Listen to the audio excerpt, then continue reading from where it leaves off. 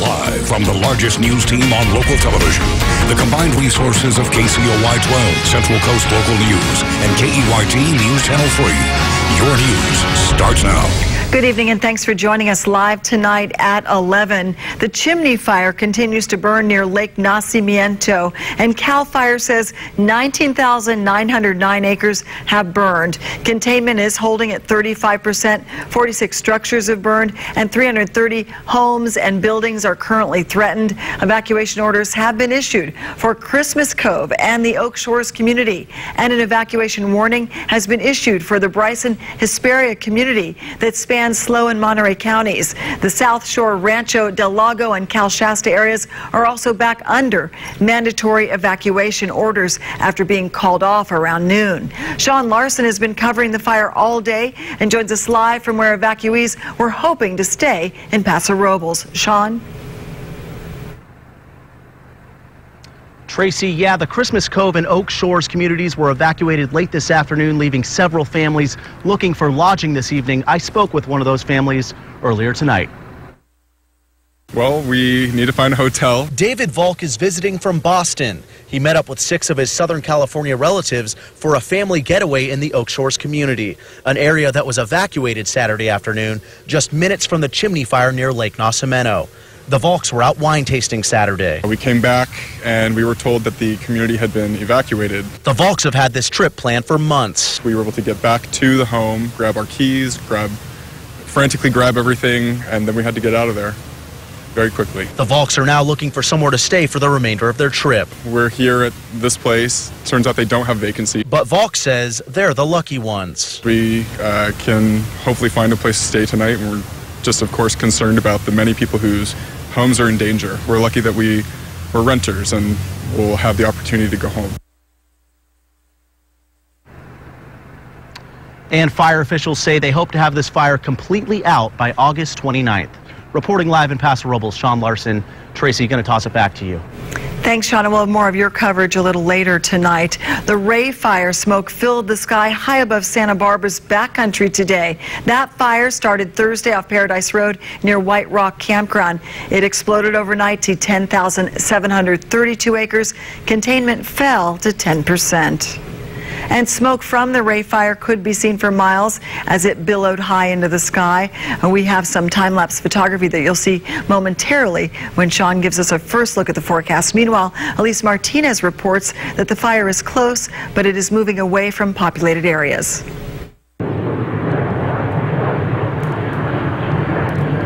Winds are pushing the Rey fire into the National Forest and Santa Barbara's backcountry. We went deep into the fire zone and saw smoking trees and large swaths of burned vegetation. The Rey fire nearly quadrupled in size overnight. That's testament to how dry these fuel conditions are out here.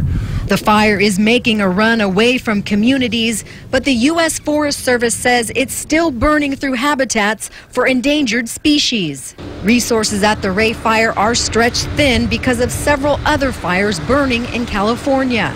We have a lot of vegetation that's burning right now, but it's not near homes. We're going to send the resources, you know, as a priority towards the ones that are burning towards more populated areas, towards more infrastructure. But aircraft has been secured and is overhead.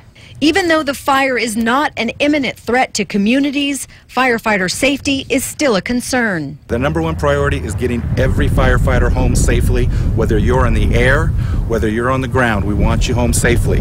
And we're not going to run any unnecessary risks putting this fire out because the dangers from the trees, trees are falling. We want to be careful. We want to make sure the crews are safe. And the Blue Cut fire in San Bernardino County has burned 58 square miles. More than 200 buildings have burned there, half of them homes. But people are returning to Wrightwood, and dozens of pets have been rescued. Crews now have the upper hand there, with a line around 68% of that fire. Now back to the chimney fire and how it's impacted the Hearst Castle. That's where we sent Sean Larson earlier today.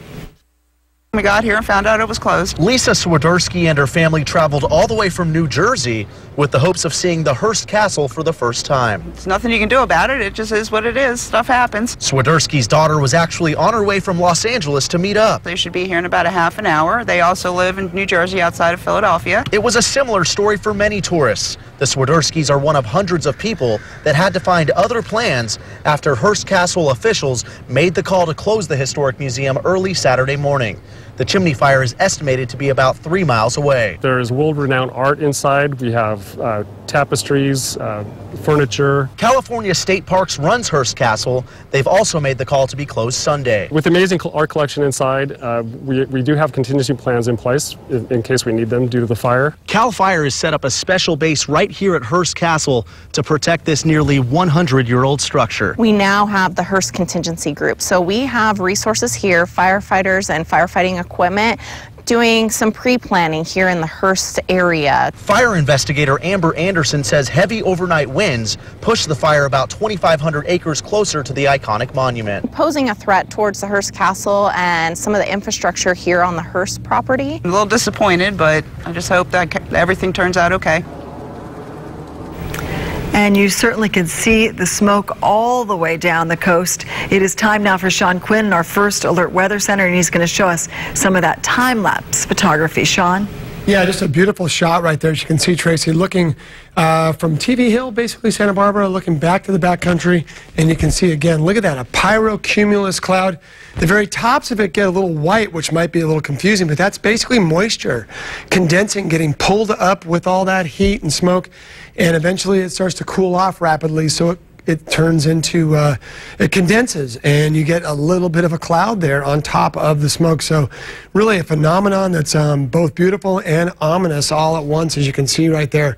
All that smoke drifting off across the region. Now, current conditions, not that bad as far as the firefight goes. Um, about as good as we could hope for, 62 degrees in and around the chimney fire. And as we head a little farther to the south, you can see humidity values pretty high up Good news there. And then around the Rey fire, look at that. We've actually jumped the humidity up, getting a little bit of marine layer trying to work its way in uh, into the Santa Ynez Valley. It may not quite get there, but at least uh, it's kind of knocking on the door. And again, helping to sort of boost that humidity.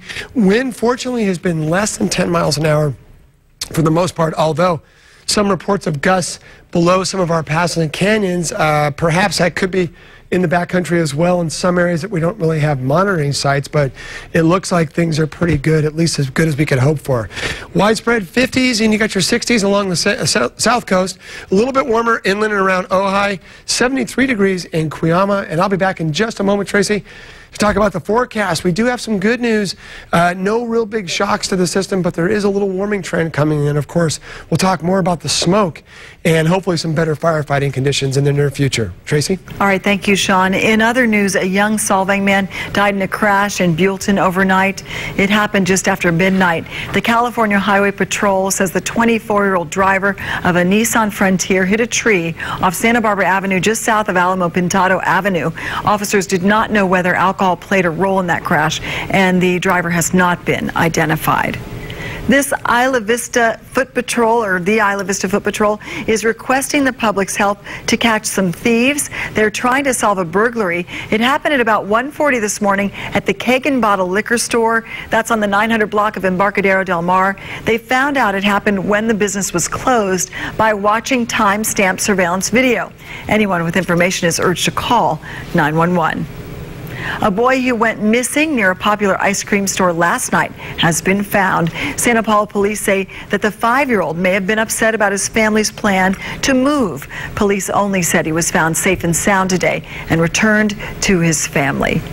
Ventura County has its first confirmed case of the Zika virus. The public health department says the infected woman is not believed to be pregnant. They will be monitoring her and her symptoms. Officials say the woman was diagnosed after traveling to Latin America. The virus is linked to that travel and not local mosquitoes, but health officers are recommending that adults and children older than two use DEET or insect repellent. They say mosquitoes usually bite at dawn or dusk, and they urge people to eliminate standing water where they lay their eggs. This marks the 69th Zika case confirmed in California. The Oxnard Police Department made an unusual arrest. Officers went to a domestic violence call yesterday and found a man, they say, hiding in his dryer. The department tweeted out photos saying, quote, gonna be one of those nights, which the hashtag static cling. They arrested the man in the dryer for domestic violence charges. The race for the White House doesn't take a break. Still to come, we'll check in with Donald Trump and see what he's up to and what his rival Hillary Clinton is up to this weekend, too. That's at live at 11 from KEYT News Channel 3 and KCOY 12 Central Coast News. News Channel 3. We're in your community, your classrooms. We're right there with you, supporting local causes. And you are a part of the family. KEYT family. You're sending us shots of your family, your view of news from your neighborhood. We're in this together, so come on, upload to your social media and hashtag KEYT family. Today we're going to be comparing these two truck beds. Let's start over here with this aluminum bed. Put your toolbox up here. Whoa. That's a big hole. That is unbelievable. Now let's check out the roll-formed steel bed of the Silverado. Same spot, same empty toolbox. Took it way better. The steel held up. This summer, find your tag and get 16% of MSRP cash back on select remaining 2016 Silverado pickups in stock. That's over $7,500 cash back on this Chevy Silverado. Visit your Central Coast Chevrolet dealers. E-Bikes, Electric Bikes of Santa Barbara is having a sale. All 2015 models must go. 2016 German-made Haibikes equipped with Yamaha motors now in stock. Imagine the places an electric mountain bike can take you. Located on the corner of State Street and Haley with a full service department, we have the largest selection of electric bikes on the West Coast. Ride an electric bike and change your life. Every day, the oil companies pollute our air, putting their profits ahead of our kids' health. Now they're trying to weaken California's clean air laws. I'm Tom Steyer. We've had a million kids get asthma. We need to send the oil companies a message. Tell your legislator to stand up to the oil companies and protect our clean air laws. Don't let the oil companies put their profits ahead of our kids.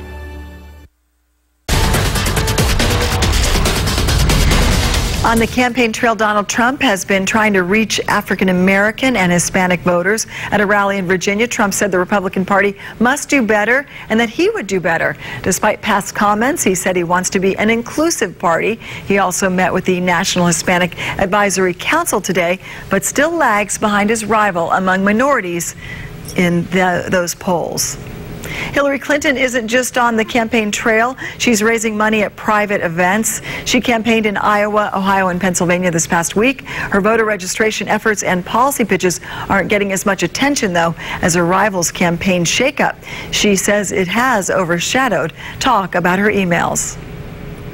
And a longtime pet rescuer in Atascadero is under arrest for animal cruelty tonight.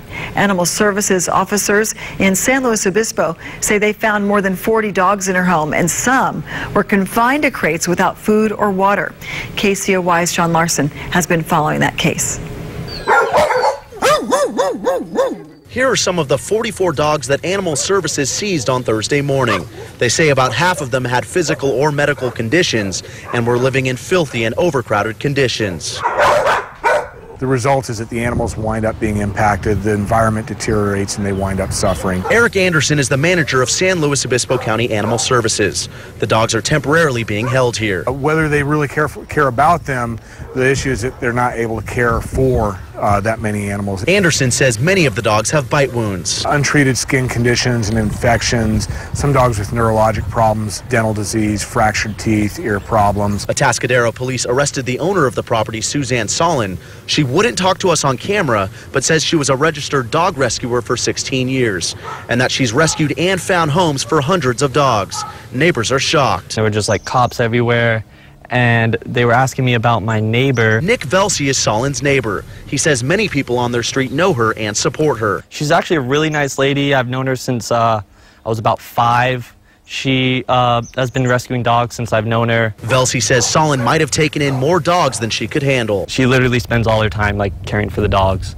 and uh, taking care of them and finding homes for them. Like that's all she wants to do. Our objective with all these animals is to treat them, get them recovered as much as possible. Sean Larson, KCOY 12, Central Coast News. And just ahead, we'll check on the flooding and rescues in Louisiana. Also, a look at Depot Day coming up tomorrow in our area.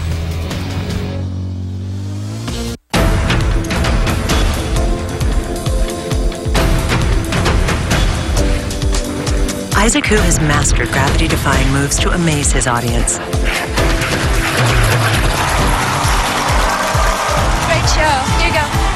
Now he's added a new routine, making depositing a check seem so effortless. Easy to use Chase technology for whatever you're trying to master. Isaac, are you ready? Chase, so you can. What's on your bucket list? On September 10th, the third annual Glow in the Park, a hot air balloon glow and dinner dance will take place in beautiful Elings Park, taking healthcare to new heights. Doctors Without Walls, Santa Barbara Street Medicine invites the community to take part in an extraordinary experience. This unique event features tethered balloon rides, a gourmet field dinner, and dancing to the talented tribute band Hollywood U2. Hurry! Get your tickets now at sbglowinthepark.org. I shop and cook for my mom every week. I help my dad pay his bills. I take my wife to the doctor. Am I a caregiver? Are you caring for a senior parent, spouse, or friend? Do you spend time helping with meals, shopping, or personal care? Are you stressed? Do you have less time for yourself?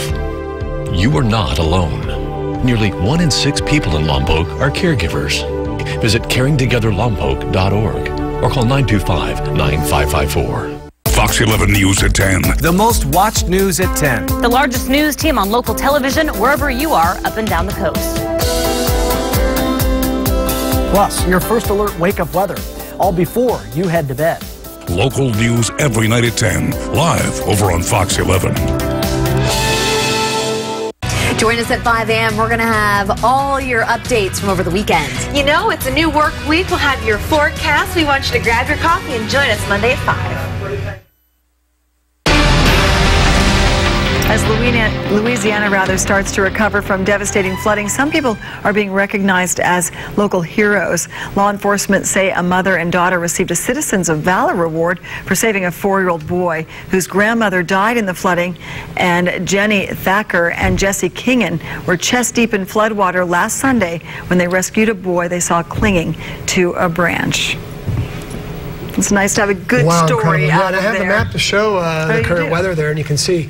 Good news is, Tracy, it's quieted down considerably. I mean, they had 20 inches of rain over four days, which is pretty much Can we double. have what one inch? Yeah, we've had double. We've had uh, less than what you know, a quarter of that in the last two years. I mean, it's just crazy.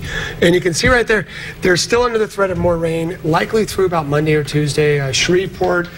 Uh, Baton Rouge and New Orleans, all of them showing at least a little bit of a chance for some showers here and there over the next uh, five to seven days. So it looks like they'll get more rain, but hopefully nothing like they've seen. And as you just kind of alluded to, Tracy, wouldn't it be great if we could get some of that? Um, even an inch, that'd be awesome. Um, probably not likely until hopefully uh, as early as November, if we're lucky, if we want to follow historical averages. And again, current conditions about as good as we could hope for as we try to get some moisture in there in the form of a marine layer. You can see uh, doing that in some areas, which is good news. And it looks like the wind is really cooperating. Um, hearing the stories, it sounds like the wind um, the last couple of days helped to really blow up the Rey fire and as well the chimney fire, pushing it toward um, in all different directions. Those winds being onshore and in nature. And you can see 50s along the central coast, a little warmer to the south coast. Um, inland areas starting to cool down as well. Cuyama is still a little bit warm, but you're doing okay getting down to the low 70s. And again, in that fire area, we're still seeing uh, fairly light winds, and that would be even up toward the uh, the chimney fire and as well the Rey fire. It looks like the wind is about as good as we could hope for. Uh, obviously, no wind at all would be perfect, but it looks like the winds are less than 10 miles an hour. And again, trying to get a little bit of marine layer into the uh, mix, which is really, really important. Also, seeing a little bit of monsoon sneaking in. Now, that can be also dangerous because if we get a bolt of lightning out of that and it hits a dry area that's no rain, um, you can get dry lightning, lightning fires, which, of course, in California, we do not need, absolutely do not need to see another fire. Now, marine layer at the lower levels, that will be our main weather focus. It has been, it seems like, for much of this summer, a very quiet summer for the most part, just a couple of little um, uh, up and downs with the, uh, a couple of small heat waves. And that pattern should continue. A moderate onshore flow weakening slightly early next week. The monsoon could sneak into some portions of California. It doesn't, doesn't look to affect us, but we'll keep an eye on that. And at the lower levels, again, we're going to watch that marine layer kind of ebb and flow over the next couple of days. It looks like it backs off for all but the Central Coast beaches by the afternoon on Sunday, and then it comes roaring back again once we head toward early Monday. And your overnight forecast, a mix of sun and clouds. Uh, and of course, tomorrow we'll watch the smoke Obviously, that might be a, a, hindrance to many over the next several days. There's no official watches or advisories, but that could change at the drop of a hat, all because of where that smoke decides to kind of fall back to earth, and the wind could blow it into your neighborhood. If you smell it, uh, just be advised to take it easy because it means that the air is obviously very, very poor. A little bit of surf out there kicked up out of the southwest. Good news there. So kind of a mix in the channel and as well to the north Point Conception. And your forecast shows very, very quiet weather. A little warming toward, say, Tuesday, Wednesday, and Thursday. And that goes for just about everybody. We cool off as we head toward next weekend. Um, so again, we're maybe, uh, you know, a degree or two below normal. Then we kind of go a little bit above. Mm -hmm we go back. If we didn't have the fires, I'd say, boy, aren't we lucky? Right. And the weather is just perfect. And let's all just go ahead and enjoy it. But boy, I would love to see those fires go away completely. This fire season is nothing short of phenomenal. I mean, just I scary. It scary. is scary. Lucky that it's been safe, at least for the crews out there. Yeah. So. Um, now, if you're looking for something to do tomorrow, how about Depot Day? The South Coast Railroad Museum, located at the historic Goleta Depot, is hosting the event tomorrow from 11 to 4. Just head on over to 300 North Los Carneros for train rides and handcar rides. There will also be plenty of things for kids to do and adults can bid on silent auction items too. A cute event for the family. The Rams are ready. Coming up, Senator de Los Santos talks to tailgaters and then reports from the sidelines of the LA Coliseum. That's coming up live at 11 from KEYT News Channel 3 and KCOY 12 Central Coast News. Finally, my own space. It looks dreamy. And I didn't blow my budget. I found it all at Ross. Organized. And I saved so much. Genius. See, you gotta go to Ross. Here you go. Can't wait to see what this baby can do.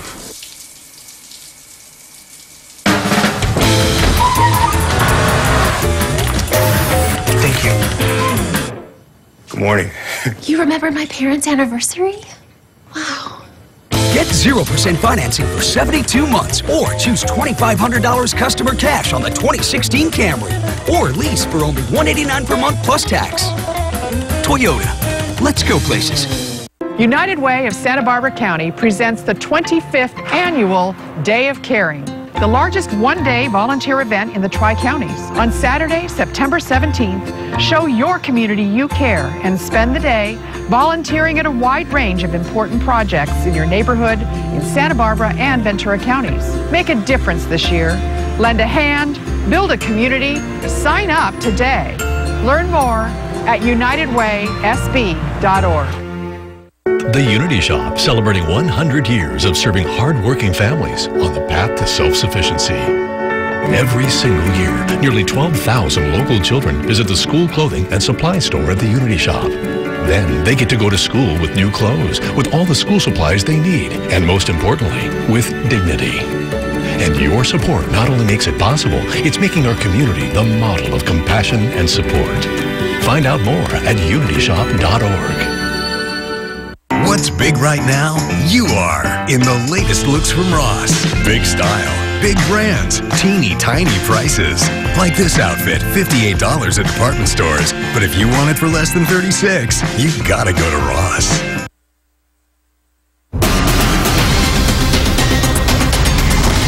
Big day for LA Rams fans. It's the last preseason football game at the LA Coliseum before the actual season kicks off. And that's where sports anchor Senere de los Santos spent her day. That's right, Tracy. We're at the Los Angeles Coliseum where the Rams will be sharing this stadium with USC until their stadium is built. Now, this is the last preseason game until the Rams hit the road, and you know the fans came out for this one. This is our fan club, yes. This is it. We're about 200 members deep. Vincent Delgado from Los Angeles has waited 22 years to put this fan club together that only took him three months. You know what? All it is is just a whole bunch of Ram fans that share the same passion. And we all just got together and this is who we are. Wasn't the only one excited to celebrate and tailgate in the Rams' last preseason game at the Coliseum this season. I've been, you know, dreaming about this for 10 years, so I'm so happy that we finally, you know, got a team and uh, Juliet can now uh, see a Rams team and grow up. We're excited for the new stadium coming up here in three years. Rams fans are coming off an exciting 28 to 24 preseason victory over the Cowboys last week. It was monumental. It was historic. It was something that like we haven't seen for 22 years here, and to have a record-setting crowd in a preseason game, and everybody that was here, even though it was a preseason game, it meant a lot to us to win. Win or lose, these fans are excited to have the NFL back in Los Angeles. You haven't experienced an NFL game or even a college game at the Coliseum, it's a great experience. Whether you're a Rams fan or a Trojans fan, you got to come to the game and enjoy it. Let's head out to the game. The Rams hosting the Kansas City Chiefs, and we'll pick it up in the first quarter. Chiefs leading at seven to nothing until this. The give to Todd Gurley, and he rumbles in for the score. That's his first touchdown in Los Angeles. Game tied up at seven. Now a little bit of drama right before the half as the Chiefs lead at 17 to 14. Jeremy Maclin and Lamarcus Joyner get into a fight. Now they are both ejected from the game, and it was a close one, folks. In the fourth, Rams Malachi Malcolm Brown, that is, with the catch, goes in 10 yards for the touchdown. LA Rams go on to win it over the Chiefs 21 to 20 for their second straight win. Again, this was the last game at the Coliseum. The Rams will now hit the road first in Denver, then in Minnesota, and it will all be televised on our sister station on KCOY 12. For now, I'm in Los Angeles at the Coliseum. Senator Los Santos, back to you. Football season has begun. A panda party is on coming up. One of the cutest baby bears celebrates a birthday. That's just ahead. In 1803, a man bought the territory of Louisiana for 42 cents an acre. That was the greatest deal ever, until I made this one. Now you can get my jumbo breakfast platter for just $2.99. Take that, history. Scrambled eggs, 8 mini pancakes, a hash brown, and your choice of bacon or sausage. It's the greatest deal since the Louisiana Purchase. Sort of. The jumbo breakfast platter, just $2.99 for a limited time. Value done my way. Welcome to Sit and Sleep's news Reviews. Let's hear what real customers are saying about their experience at Sit and Sleep. I bought my mattress here a few months ago and I'm still super happy with it. That's awesome. Let's hear another one. I'm so happy with what I selected and the service I received. It was a great experience. That's what I'm talking about. Sit and Sleep customer service is superb. I think I'm blushing. I'd never think to go anywhere else to purchase a mattress. I love that. This has been a snooze review from Sit and Sleep. This level of intelligence, it's a supercomputer. With this grade of protection, it's a fortress. And with this standard of luxury, it's an oasis. Introducing the completely redesigned E-Class. It's everything you need it to be and more. Lease the E300 for 549 a month at your local Mercedes-Benz dealer. Mercedes-Benz, the best or nothing. Every day, the oil companies pollute our air, putting their profits ahead of our kids' health. Now they're trying to weaken California's clean air laws. I'm Tom Steyer. We've had a million kids get asthma. We need to send the oil companies a message. Tell your legislator to stand up to the oil companies and protect our clean air laws. Don't let the oil companies put their profits ahead of our kids.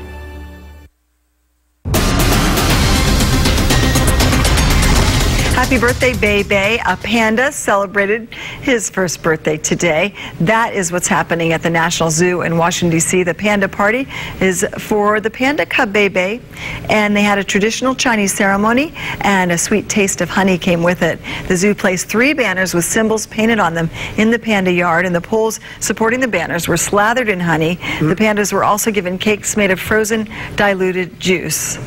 That is just the cutest mother and baby gonna say, he ever. not like he's not enjoying his day. Yeah, exactly.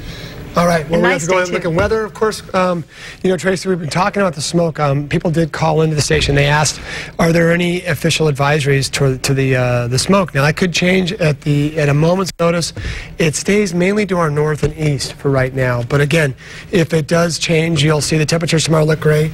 Everything looks good. A little bit of fog, beach, Okay. the whole bit, but then smoke. And we leave you with a quick look at KJEE's end of summer concert at Pershing Park. Our own John Palminteri the